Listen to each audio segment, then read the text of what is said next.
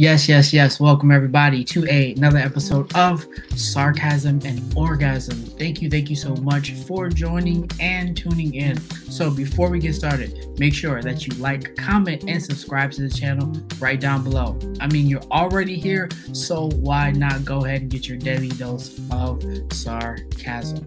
So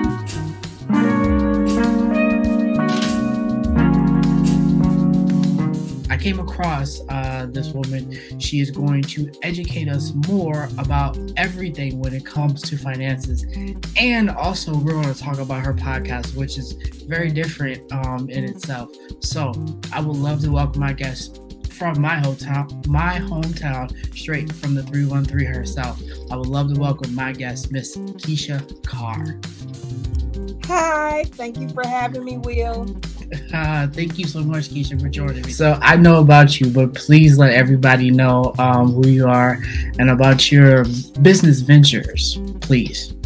So again, I'm Keshia Carr. Um, I have three business ventures of my own. The first one being Credit and Conversation. It'll be um, it's a credit literacy program. We also do restoration with our mm-hmm. business. Um, my priority with credit and conversation is to educate our community about credit and how it can benefit and enrich our quality in life and our community if we are able to invest because although cash is king credit is everything. So um, my big passion is just educating people about credit. Um, right now my focus is on youth because um, most of us tend to mess up our credit when we're young. Um, or it's already messed up for us. I mean, I say, or it's already messed up for us. So. Yeah. So right now, I'm focusing on youth. I have a book on Amazon called "Everything High School Students Need to Know About Credit," um, from Credit and Conversation.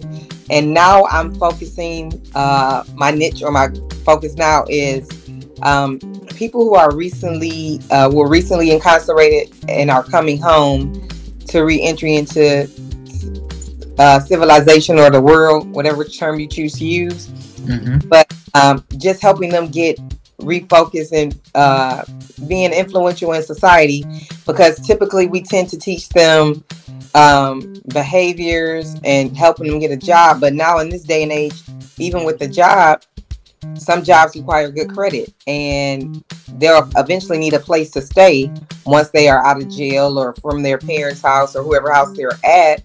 Um, so I want to make sure they have credit education and they have good credit before they go out into the world. So that's my new big venture is just teaching people who are re-entering society about credit um, and then I have uh, Lip Lover, which is L I P L U V H E R.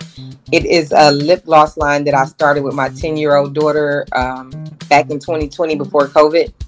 So uh, it's a, a, joint venture because we both love lip gloss. Um, and the primary focus for me with her doing a uh, joint venture is to create one generational wealth um, two to educate her and expose her to dealing with people and speaking and good communication skills and leadership and sales tactics. Um, mm-hmm. And then my next business venture is dating Satan, which is my podcast. Which in Satan podcast, I want to dispel the myth that the man is always Satan. Um, for me, I mean, I've been Satan, so I, I like to touch on the fact that I've been Satan. I share my personal experiences, and um, Satan does not only exist in relationships between heterosexuals, but it with homosexual relationships, same-sex relationships, within family, within work relationships. So, mm-hmm. um, biggest goal of dating Satan, but we definitely touch on how relationships can be toxic and how you can heal from them. And then I have a podcast that I recently started with a group of five phenomenal women on Podcasting Network. Um, it's called Respectfully Speaking. We touch on just everything from family to finances to conspiracy theory to what's going on in Detroit to comedy to religion Um, we definitely have a variety of people on the podcast, a great demographic. Um, and it shows that Black women can work together cohesively. We can communicate, we can compromise. And also, I'm on Women on the Rise. It's a nonprofit um, empowerment group for women. And with that group, I sit on the board, and my passion with that is just teaching people um, how to have a business, how to run a business, how to use social media to their benefit, marketing and promo, um, and just building business credit. So that's my other one. And I'm also on a radio talk show here in Detroit on Fridays on 9 10 a.m. called The Urban Conservative. I co host with Carrie Leon Jackson. And on Fridays, we talk about relationships. Um, and then I'm just a, a podcaster, and I've become a talk show guest so I have a lot of things going on. On top of I deal with, um, I've been involved in a lot of political things and campaigns here, and sat on some campaign committees. So I'm well versed, I would say. Mm-hmm. Yeah, you got that right. You're well versed and very busy. so, um, yeah, so I, let's back up a little bit. So, your book, Credit and Conversations Basics for the Youth, how did you come up with the concept for it? And how long did it take you to like start it and then complete it and then get into the transition to where you can put it in everybody's hands to start talking about credit to our youth? So, what made me decide to do the book was just my personal experience and experiences with people I know. Um, I graduated from Michigan State like 20 years ago almost. So um, most people, um, we come out of college, and because we're not informed or educated on credit and how credit score breaks down, and typically we all have this myth that as long as you pay your bills on time, you'll have good credit, and that's not true. So I really wanted to focus on creating good credit habits for young people, letting them, educating them on how the credit score breaks down, how to maintain good credit. Um, and I would say it took me maybe like two months to write the book. Um, okay, I'm bored.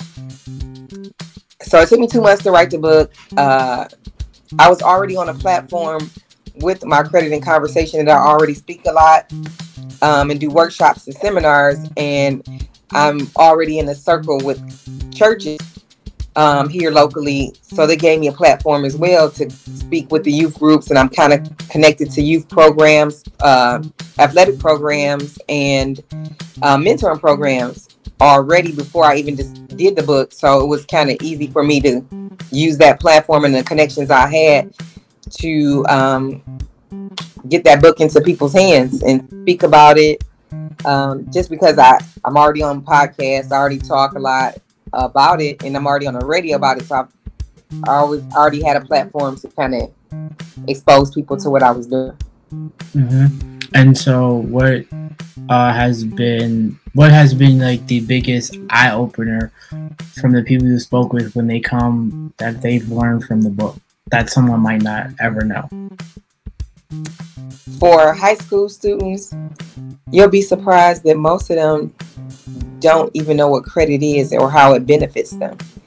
Um, I do a lot of Zoom, I do a lot of meetings and workshops with young people, and you'll be surprised how many of them don't even know what credit is or um, what a credit card is. Just that that's money you have to pay back, and it's a credit limit, and wh- how it affects your score if you're late on it or you max out the card. So that's been the biggest thing is just them not even knowing anything at all. Mm-hmm. Yeah, and it's funny you say that because I just did a video uh, basically last night. Well, no, the other day with a good friend of mine, and we were talking about how college is really a scam, and it's set up in ways to where it doesn't benefit you, especially like you graduate from high school, you go straight to college. It was like, oh, you can't afford this? Here's a credit card max this out and then you'll be in debt for the rest of your life on top of the student loans that you're already taking out so yes credit is a big hindrance to us all if we do not know about it And then when we do find out about it, it's almost too late because we're transitioning in from our 20s into our 30s. And then it's almost like we're playing more catch up than we ever have before. And it's almost not, it's not fair. So it's really, um, it's really great to hear that you took a real, real strong initiative to teach at an early age about credit because credit can be so beneficial for you if you do it in the right way. Like, even say, for instance, like if I have a child, put him on as an authorized user so he starts building um uh you know credit information not from me just to him that way when he gets his first credit card him or her give or take that they already have some type of establishment, some type of rapport. And most of us don't even have that. And I think it's really unfair because these schools, they're not even teaching necessary, and I mean true necessary things that can really help us rather than deter. But when you go to public schools, public schools really don't care. They just want to push you through. They're like pushing you from the cradle basically to the grave, honestly. And that was my thing. It was it was like we come out of college in the red because one, we've had bad credit, and on top of bad credit, we have student loans. Mm-hmm. So most of the time when we graduate, we have to go back and live with our parents because we can't get a place of our own because our credit is bad. And then you're trying to get a job in the field or a job in general, and you still are in debt. You, and I, I totally agree that um, I wouldn't call college a, a ripoff. I will say that, yeah, it is a ripoff. I, I say yeah, this, it's a ripoff. I, I say this in the sense of they'll have you take a math class that is harder as a remedial math class than some of the classes you need that will count towards your credit, or just classes in general. And you're paying for those classes if you fail multiple times, but they're not set up sometimes for you to even pass. So now they're creating where you have to continually, and I say this, unless you're doing like a full big workload in college, you're probably going to be on a five year program. So they're mm-hmm. creating revenue because you got to take the classes and then you have to pay for room and board. So college is definitely to me a business. The best benefit to college is creating a network for what you can do once you get out of college. I tell people all the time, none of the things I've learned in college have been influential to where I'm at now. Mm-hmm. It's who I met while I was in college that I've networked with, and that's been most beneficial beneficial to me in my career. So that's to me is the biggest plus is just the network of it all because most people you go to school with are future lawyers, doctors, principals, teachers. Um, so it put me in a place where I can it opened the door for me to do this platform and to educate people because I've met made those relationships in college and now those people are in a leadership position where they can bring me in. Yeah, and it's tough. It's tough to really build a network of people that you know are going to be beneficial because they might be in the same the same circle you're at, but they'll venture out and they stick with stick to it. We all know that people you've been in your freshman year don't always make it to their senior year. They really don't. and and and then it's like that credit thing it'll stick with you because you'll probably find a good job while you're in college and then you'll be paying it paying it and in one month it happens to where you just fall right off and it's just hard to get back on so credit is something that we don't know about, but we try to play with, but we still don't know everything because it is not taught. No one wants to teach us. Even if you try, and I don't mean to get political or racist, but even when you try to go to the white men and say, hey, teach me about credit so I can be better just for me, not take it back to the community, but just for me, it's almost like the door is shut. And I love this saying is knowledge is meant to be shared, but no yep. one wants to share any knowledge with nobody. Everybody wants to keep everything to themselves. And I feel that's very, very unfair when it comes to a, a serious situation such as credit and conversations. Yeah, and that's why I came up with the name in credit with credit and conversation because we're talking credit, and instead of me just lecturing to you, and I say this to people, I said when I do seminars or workshops, I make it a conversation because after after ten minutes, especially with youth, they're tuned out. So you have to mm-hmm. engage, so they'll follow along and they can ask questions and they'll feel comfortable. That's why I took the conversation route, credit and conversation. Like we need to have this conversation. So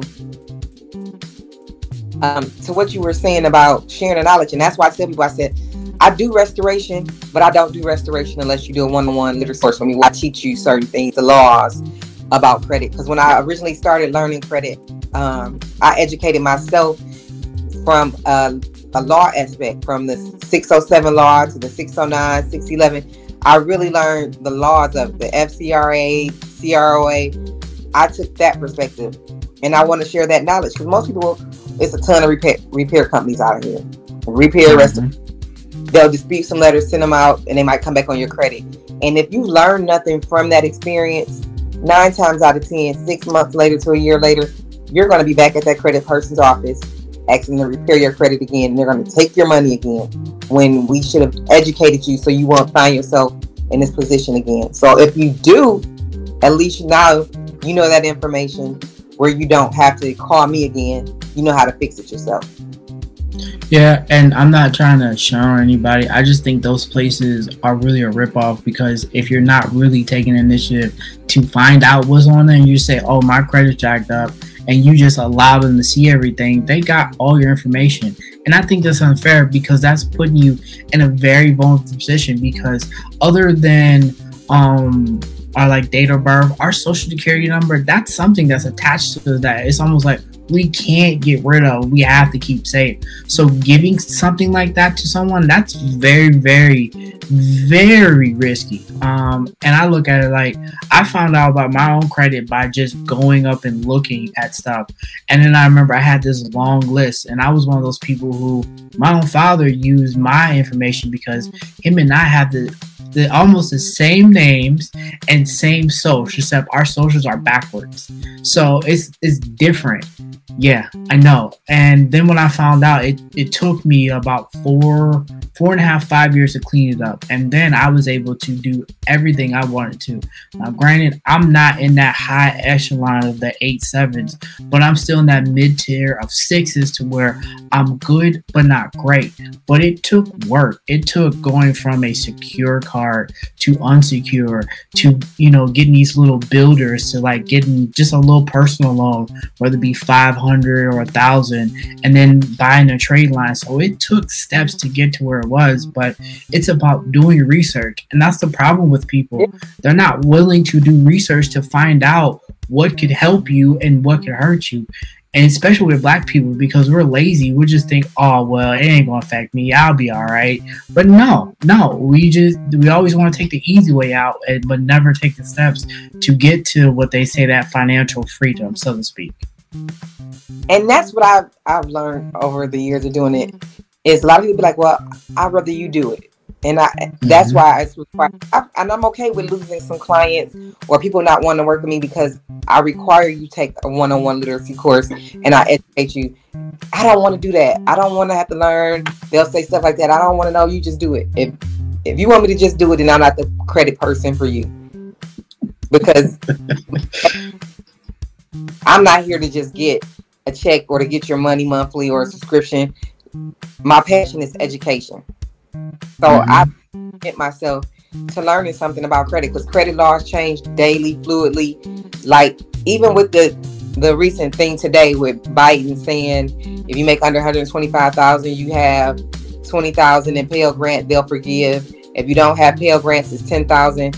We just have to constantly keep ourselves abreast that you can go to studentaid.gov because most people didn't even know that you know you could our loans i mean student loans were suppressed or on pause or hold um, to august of this year. And then they um, extended it to another four months to actually go pretty much to the end of the year. And most people don't know that. And some uh, financial institution or student loan companies are still putting that on their credit report and not abiding by the law that they were supposed to be on pause and now those lates those negatives that reflects on your credit when they shouldn't even be on it because of the law that's been passed to put them on pause.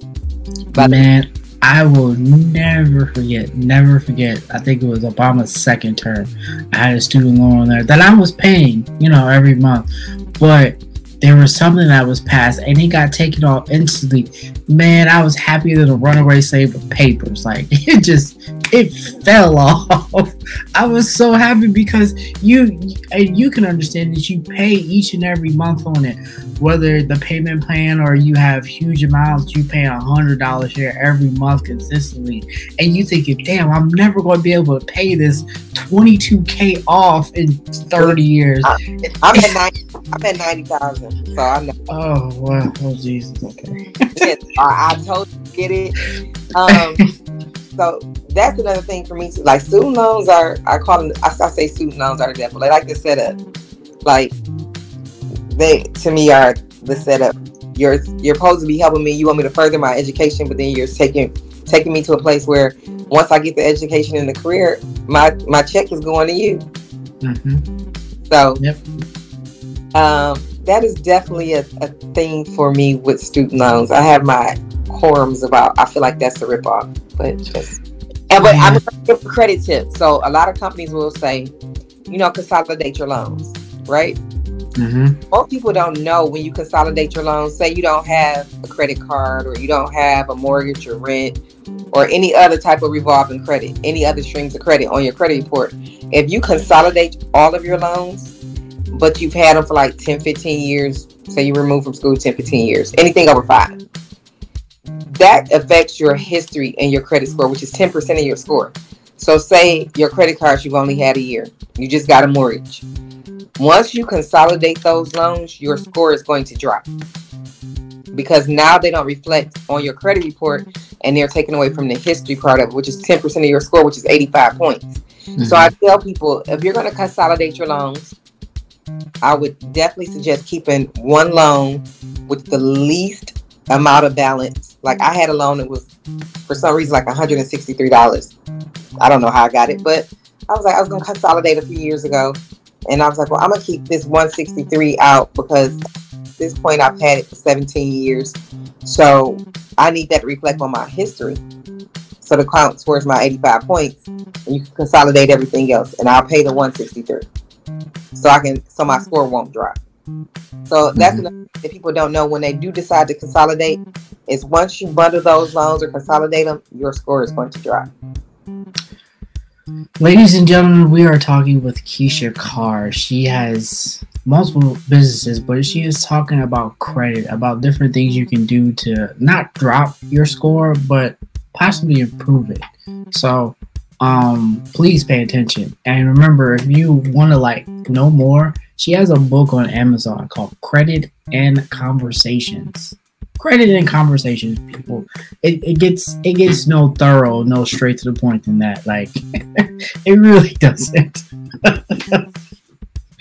Um uh, so let me ask you this: When you do your seminars with that you host, what are some of the exercises that you have for these kids to try to get through them and tell them how important credit can be for the long term?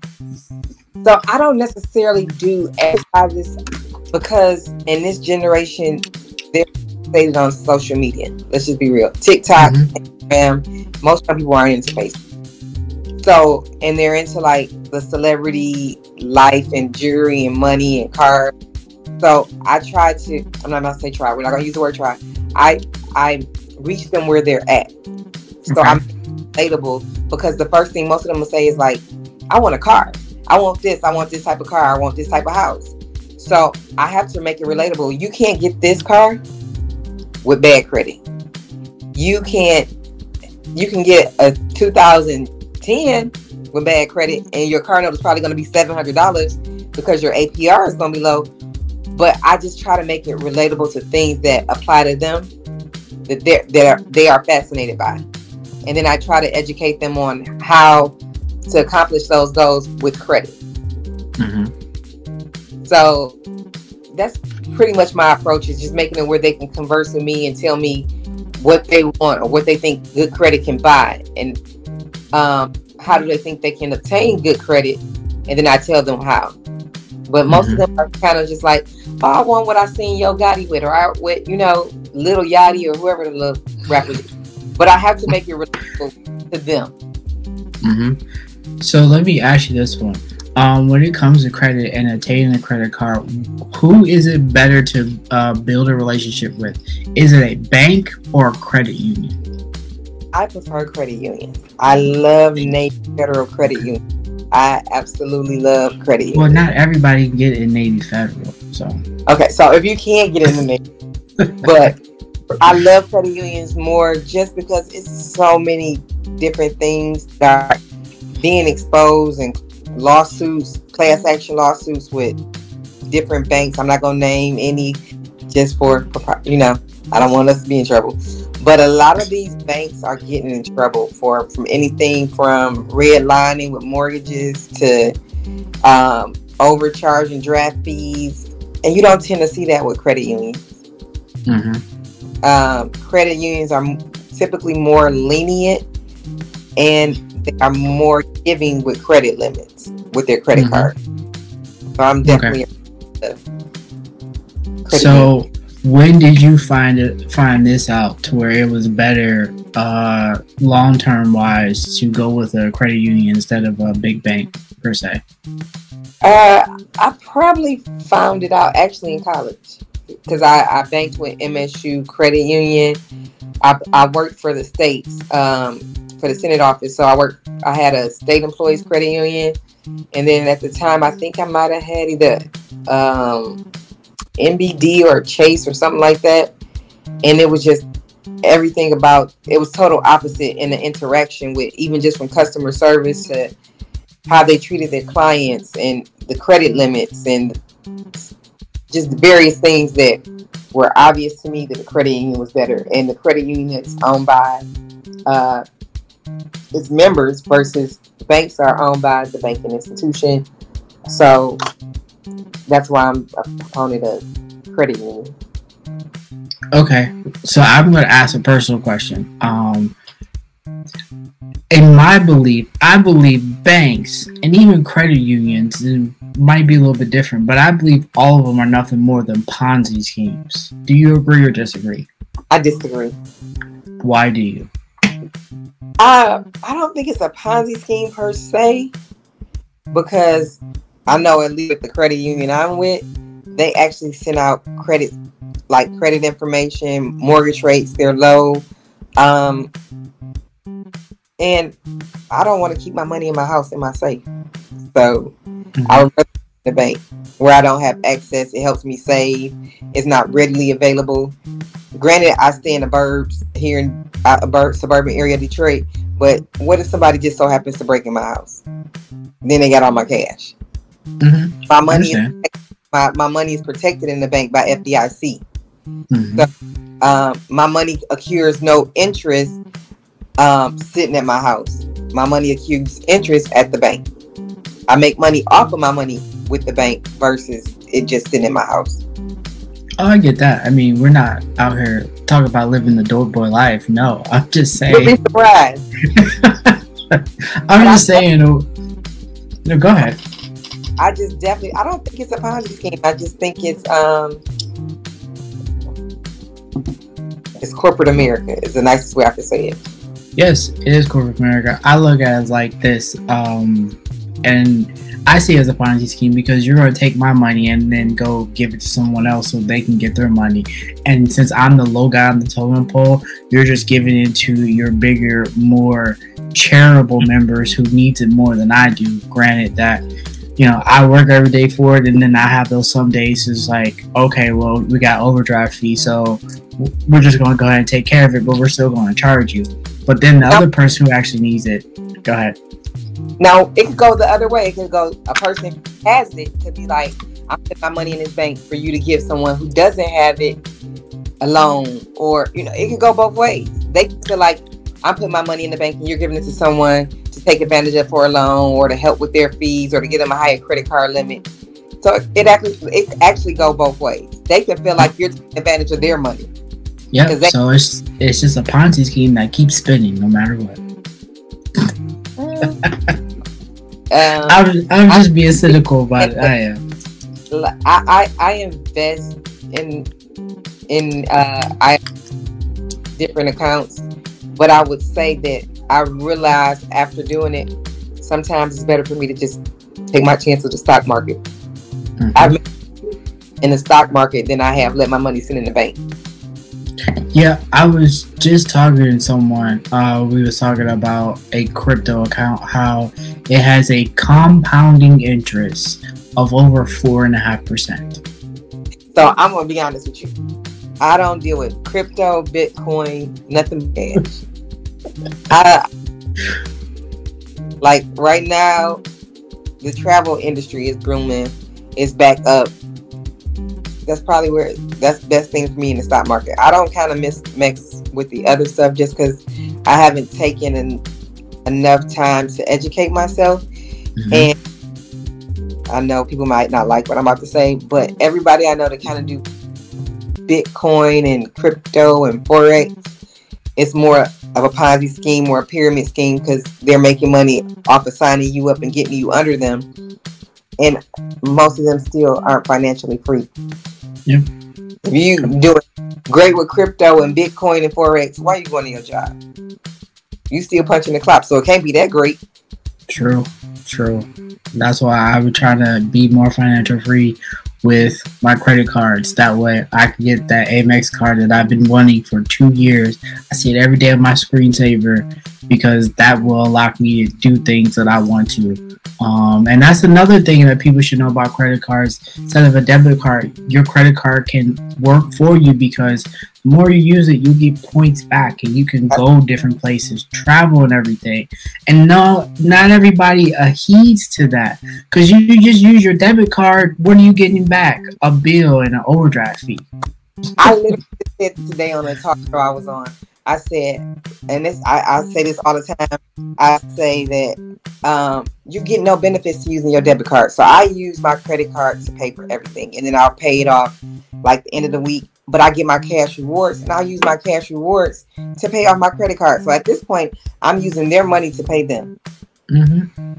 I always suggest, and I and I tell young people this, um, that when they're deciding to get a credit card, make sure you ask what is the benefit to me and what are you offering me as far as rewards, points, miles, cash back. Never get a credit card where you're paying an annual fee and you're getting nothing out of it. Uh huh. And see, I knew nothing about that. Uh, I my first cashback reward card was a Discover It because, like I said, I had starter cards, so I was just trying to build, and then I found Discover, and then I was getting back one percent on everything that I was spending, which I didn't know at the time, but now that was really great. It really was. And then I have built with them. So now it's increased to where I have a better rate with them. Now it's up to 3%, which is great. So now all, yeah, all I use it for is like my gas and groceries. Um, and then, and then sometimes I'll get that money back and I'll pay like my, my, my, my balance off with no problem. That's why I, I always tell you, I said, I use their money to pay them. Mm-hmm. Mm-hmm. But I will say that because you went out, you talked about American Express. Most people don't know that American Express does not report history, which is ten percent of your score. So American Express only po- uh, reports utilization and on-time payments. So you can have a, a just let's say you only have American Express card, right? And you can pay on time you can keep your utilization to let's say five percent. You can get the max amount of points, which is like 190 92 points for on, on time payments. Your utilization is roughly like 175 points to 183. Say you have a zero percent of your credit utilization. You still get the 192 the 175, but you're still missing 85 points in that category just because American Express does not re- report history. I'm okay with that because I have three other cards. But like this didn't have American, like if you didn't have that cards, because yeah. I, there's a lot of people be like they want to buy trade lines, and I say I look at your credit, I look at people's credit report and look at the summary, and I say to them, okay, well you don't have any history. It's your new car. Before you buy a trade line or invest in a trade line, American Express is not going to really help you because there's no history on it, and you don't have any any already. So you need to get a card that has history. Mm-hmm. Yep. So that's what I always tell people um, when they're purchasing a trade line. If that company doesn't offer to review your credit report and see what card works best for you. They're in it just to take your money. They don't care if you your score actually rises or don't rise. They'll tell you anything. If they haven't did a summary of your credit report, they're just giving you anything to get your money. Wow.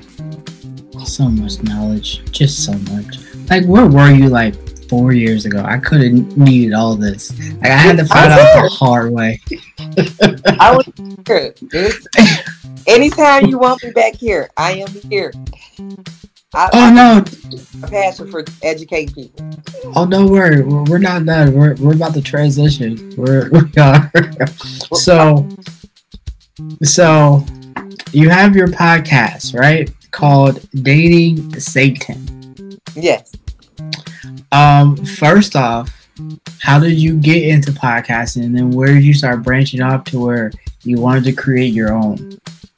So ironically, I was dating someone and he was Satan. One of my friends even said it like, girl, you dating Satan. This is like years ago. And I started writing a book about it. Mm-hmm. So then um, I opened a Facebook group, um, which like expanded rapidly. It was like a public group. So I've actually shut down the group. Well, I've been shut down twice. So now it's kind of private but the group expanded so fast and people were willing to share their testaments and their stories about dating Satan. I was like, you know what? Let me do a to get I was actually just trying to get content for my book. I was like, I'm gonna do an all female podcast where all of my guests were female. And then I did an all male podcast just to get two different perspectives. And I posted it in my group. And someone that was in the group um, that I had previous knowledge from campaign stuff with um, out of Seattle seen it and he was starting a podcast network. He loved what I was doing. Well, actually, you know what? That was the dating Satan. Maybe back in 17, 18, I was on everyday, what is it called? Everyday podcast as a guest, and then I did everyday travel because I travel a lot. So I had kind of had some podcast experience, but dating Satan actually just came from me getting content for my book and doing some like pilot shows just to get content and somebody seeing it and it was like you should do your own podcast make it a regular thing. Um, they invested into my podcast. They i can marketing from marketing of products. And it literally just opened from dating and i did the same thing you do. I used um, restream virtual instead mm-hmm. of person and for me, what I found with it is it exposed me to a bigger audience versus being in studio. And I'm currently in studio with the new one I started with Respectfully Speaking. But this platform and how you're streaming it, it allows you to get a bigger audience. It allows you to um, get guests from everywhere. Because although you can do it in, a, in the, you can bring them in in the studio when you're in person, it's just not the same as because when you're in person, it's like the in person conversations, and it's hard for the person that's on camera to come in.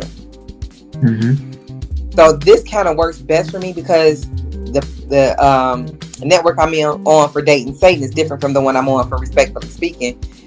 But every network, every podcast on that network, I was the only person from Michigan. So it was Seattle, uh, New York, Philadelphia, Chicago, Arizona. And these are people who have been podcasting for a while, who had big platforms. So it exposed me and gave me opportunities when we we had to share go on each other's shows. So that gave me an opportunity to get a bigger audience where sometimes mm-hmm. yo limits you. Yep. It limits your audience, it makes you local. So that was the biggest thing with that. But I actually it was just a blessing that came up for me. And then um, because my group is kind of doing so well, and I kind of kind of try to condense it because people share their personal stories. I didn't want it public anymore, but um, kind of from dating Satan, it kind of opened up the door for me to speak about relationships and get on the radio talk show talk about relationships. Um, it just definitely opened more doors. So October second, I'm doing bold and beautiful it's a woman empowerment group, but they do panels. So I, I literally got invited to host a panel with males about their perspective on dating with women and to give women tips. So it just definitely opened more doors um, with dating Satan, and it's been a great experience, opportunity. Most importantly, I learned a lot about how women are crazy, worse than men. Because when I listen, listen to some of these guys' stories, I'd be like, oh my God. Like I just told somebody the other day, we were just talking because a lot of people talk to me because the dating saying just about relationships and seeking advice. And he was saying how um this one chick just keep popping up in his house. He see her on the ring camera. What should he do? He trying not to hurt her. And I was like, you got to get a PPO at this point. Like he like, I don't want her to lose her job. I said, you want her to lose your job, but you to be sitting in the cleaner. Because at, one point, sometimes you're not gonna you're gonna be at, at a point sometimes where you're not gonna be able to restrain yourself because it's getting to that point now. So mm-hmm. you worried about her and not about yourself, which obviously shows you still care, which is good. But women and people are out here now killing families, and if I can't have you, nobody can have you. And I've been in a situation where the person was like, "I'll kill us both." What? Or yeah, that's too much. Oh, Kobe will kill himself, or you know, I, I don't even want to be in a position where somebody tells me they love me so much they can't live without me. Because what that says to me is that if you can't have me, no one can have me, and you'll kill me if I if I don't want to be with you. And most people tend to ignore those signs. You got to listen to words, words, red flags, action, and you have to decide what you like, what you dislike, and what you're not going to tolerate. And a lot of times, people, and I say this abroad, especially because I'm over 40, especially with women over 40, we tend to um, want this picket fence lifestyle, especially if we're like college educated and got a successful career. We're now pushing marriage, marriage, marriage, marriage. And sometimes because we're pushing it, because you feel like you're so established or I've done the right thing and went to college, you'll marry anybody to action. Where you haven't you haven't gotten to know that person, their character, their morals. You just want to get married because it's what I'm supposed to do or what people tend to think I should do because I'm established. Um, so I, I definitely like to speak on not being feeling like you pressure to get married and that marriage doesn't validate you. Like I know some Christian people, and I'm Christian. I am definitely Christian. That's what they all say. I'm just, I'm, I'm and I just had this conversation with my girl. I want to get married, but it doesn't validate me as a person. If mm-hmm. I Earl and they put my little friend in my obituary that I, am dealing with now, put me in his obituary as his special friend. I'm okay with that. I'm okay with having a team without a title. Mm-hmm. Like, I don't think a marriage defines my relationship, my connection, my vibe, my loyalty to the person it's great to have, but people don't respect marriage like they used to. It's a lot of married people out here. Mm-hmm. There, there are a lot of married single people. Single people than I meet single single people. Mm-hmm. They just say it myself. Um, she tried to poison me, like literally tried to poison me. Uh, and I've talked about this a few times on different podcasts I've been on, even episodes I have. Like, she put uh, some type of poison in my body wash, and it happened probably about a year before COVID. And I'll put it to you like this: so you know how you get a scratch, like you'll scratch yourself and you get a line or something. Okay, well picture that 20 times worse. I would scratch myself and blood will already start coming out. Yes, yes, no lie. Um, and even when I went to the dermatologist to try to figure it out, they didn't know. They had to give me the strongest steroid, antibiotic, whatever it was, to get it out of my system. And then I had to clean everything that I had touched, I had slept in, whatever, because they thought it got into my clothes. So I was washing two days basically butt naked. Yep. And I say, and, and I own the fact that I've been saying, and, and women, I think women could be more conniving, more malicious, more uh-huh. difficult than men. Men at point, especially like at 40, most men are like, okay, they they don't even want to go back and forth. And it be the man that likes to go back and forth, especially over 35. He's tender. Can I cut on here? Yeah. Uh, most men that are older that like to go back and forth or who are emotional as I call it. what I've learned, oh, I, I, I definitely in every relationship, situationship, every vibe, experience, fling, whatever you want to call it, I tend to reflect on what I did wrong, what I didn't pay attention to, and what the other person did wrong, and I allow. And what I've seen a pattern is is most men who are emotional, who do feminine things, didn't have a male role model in their life. And I'm not saying mm-hmm. father, I'm saying male role model. I'm Sunday school teacher, a preacher, a basketball, football coach, track coach, any male role model in their life to influence them to be a man. Every man that I've dealt with that acted like a tender grew up around a, a, bunch of females. And that was one thing I had to learn. Like, okay, the last guy I dated, I, I tell people, I said, I was in a lesbian relationship with a man. And it starts coming out like, I'm very I'm a public private person. So like private person. So my my social media, you'll see everything I'm doing. You'll see about my business, my kid. I'll crack jokes where I'm at. But I will never put my personal business, who I'm dealing with or dating with, really on my social media. And the guy I was dating was like, he tagged. I hadn't even committed to a relationship with him. He tagged us on a post and put us in a relationship. And he would post everything, even when we got into it he literally record our phone calls and then he posted them on Facebook. He'll nice. our conversations and post them on Facebook when we get into it. And it was. and how like, long were you with this nigga? From February to August, so maybe like six months. Oh, okay. And the crazy part was like we went to high school together, but I didn't know him in high school. I knew of him, but mm-hmm. he had inboxing me literally. For, I mean, not inboxing, well, inboxing me too lightweight, but he had been cash apping me since 2019 for two years. Like he'll see me out. Uh, I'll post I'm out. I'm out with my friends. I'm out of town. It's my birthday. He'll just cash at me. And I was like, finally, I'm like, let me give him some attention because, like, you invested a lot of me in two years, and I didn't even realize that he had cash at me so much. So I'm like, let me. I look through my cash app history. I'm like, let me give him some attention. And I tell him this. I said, you bought my time and my attention because you was persistent about like you. I'll be out one night, send me a hundred dollars for me and my friends to drink. Send me another hundred dollars. Like I'm like, let me get, let me see what he's talking about. So women be leery of guys who want to buy your attention. They have a hidden, a, a hidden agenda beyond just sex. People always assume it's just sex. Sometimes it's not even the sex for them.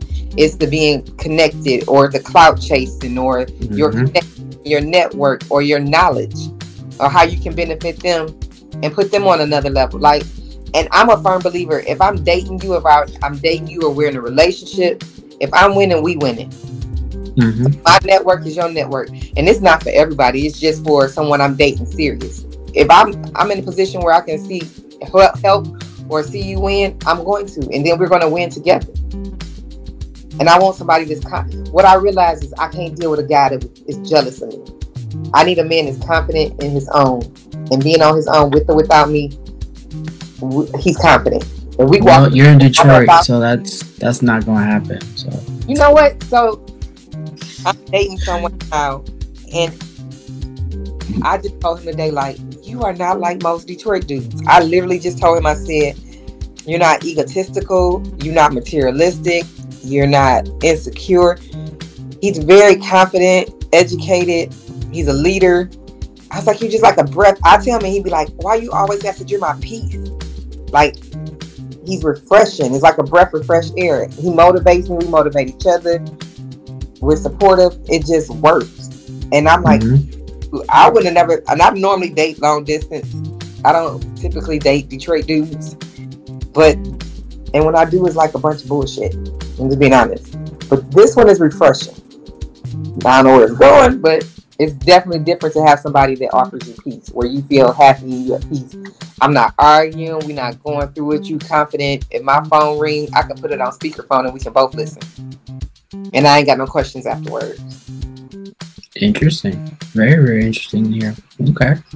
Wow. Vice versa. Wow. Like we've been honest with each other from day one that I'm to a point where if someone comes to me and they have and try to tell me about him, he's put me in a position or we put each other in a position where you can't tell me about him and he, you can't tell him about me because I've already told him. One thing about me is I'm so honest with myself and who I am that I feel like I'm gonna tell you about me, offer it, so can't nobody else tell you, and I'm gonna write my own narrative. And whether I did good or bad or hot, people be like, "Oh, she crazy," and I am. Because it was so crazy. Somebody called me a while ago about my daughter's father, and it was like, this was years, years ago. And she was like, Yeah, he told me you crazy. And I was like, I'm not insulted. He's warning you, not insulting me. Leave me the fuck alone and don't call my phone again. Like, um, I'm just, I'm, I'm okay, and I've learned myself to know my buttons, my triggers, and to find people who don't trigger me that don't bring out that side of me. When you find peace, it's just like the biggest thing. Finding the person that brings you peace. That mm-hmm. you. I tell people this all the time. If I tell someone or a man or anybody, I respect you. Respect means more than love to me, and I say that in the sense of you can love somebody and not respect them because a person that loves you is not going to cheat on you. They're not going to embarrass you. They're not going to be out with another person. They're not going to be on social media flirting because they respect you. They can still love you, but if they don't respect you, their behavior reflect that. So if I respect you, that means more. I'm not going to embarrass you, and if I respect you, at some point I'm going to love you. If I don't mm-hmm. already, but respect me more than than love because people love people all day and cheat and have outside babies and all type of stuff. Date your friend, sneak with your friend because they don't respect you. True, very true. Wow, ladies and gentlemen, she is just dropping gems. I hope you're listening and writing this shit down because it's only going to be said once. If I get her on again, it'd be a miracle because she just got so many things going on. I'm just glad that I was able to get her on today. No, I so look, I love your energy, your professionalism, your calendar, your follow up. Like anytime for you. Like you. You, you know what? It's just come from just from my first interview to whatever my last will be, probably never. But it's just asking questions that just make sense and fit. I don't want to just ask you no stupid things off the rip because we're doing it for a reason. You know, not only are we talking about financial literacy, but we're talking basically about relationships. And both of these things matter if you can really have the cognizance. Yes, people, cognizance. Like you have the brain power to be able to figure out why it's being said um, because these matter. Like when you deal with your credit, that's a long term thing. When you deal with a relationship, that is a long term thing. These are both things that you're putting your energy, you're putting your time, you're putting your money into, and you have to be understanding of these two because they play vital roles in everything that you do. Relationships, whether it's personal or professional. Um, credit, whether it's personal or professional, like you need both in everything that you do. Um, and so I appreciate you coming on. I appreciate you talking with me. Hell, I appreciate you giving me the time and the opportunity just to be able to talk to you in a serious but not so serious manner. Like I truly do. I thank you so much for the information that you share with me. I thank you so much for just telling me the things that matter the most. Um, because you never know. You don't know what you can find out if you don't open your mouth. Like it says, a closed mouth does not get fed. That is true. uh, anytime you want me back, you just send me a call. I Hopefully, I can get you on date and say I start recording uh, in October for season two. Okay. Um, like over a year just because I'm so booked with everything else, and my group has kind of carried me through the last year, and me going on other people's podcasts, and mm-hmm. then so right now it's like I can. I've been floating with, uh, and I've reposted my show, so it's kind of got me through just really being on other people's shows. But I am back, and I definitely like having guests and perspectives from everyone because. Mm-hmm my perspective might not be yours. You might think every woman is an angel. No, every woman is not. It's not. And my mom has always told me this because my mom is East Sider through and through. She would always say, "Every woman, every man is an asshole. Every woman is a bitch. You just gotta find the right one that matches you." That's true. and I'm not trying to say in a derogatory saying. I'm not. It's just some women are, some men are. Like we all are, but in a sense, we go together. We need one without the other, and you can find a really good one out here if you look in the right places. But sometimes you find the right one in the most damnedest places you never would have thought of. Listen, I, I see everybody saying, and I posted this in Dating Satan the other day. I'm kind of a jokester. I, I got a sense of humor. I was like, uh, from my inbox to my guts, a love story. Yeah. like the person I this my piece I literally met on social media. In my mm-hmm. inbox, that I was like, eh. the craziest thing is like I I was gonna write when he first tapped on my inbox. I I had made messages to him and I was rude and I unsent them. I did two rude messages and I was like, no, I'm not gonna be like that. And he's definitely my type. Like I'm physically attracted to him. I was like, I'm not gonna be mean. And I get a lot of inboxes, but this one was just like something was different. And I'm glad I, I took that chance. So this is your cash app bay, is what you're saying, or is it a different dude? What'd you say? no, the cash app. Oh Lord, no, no. I had to get go on him. No, no, no, no. Okay, yeah, that's, another that's another another episode. Another episode. But um, Miss Keshia, it it was so so wonderful talking to you. Now, if people want to get in contact with you, get a hold of you, maybe do some credit financial, uh, get some tips on whatever it might be, how can they get a hold of you? So on Instagram, it's credit and conversation um, all together. Uh, Facebook, it um, credit and conversation credit education services. As well, I have a, in a Facebook group called Credit and Conversation. Um, my website is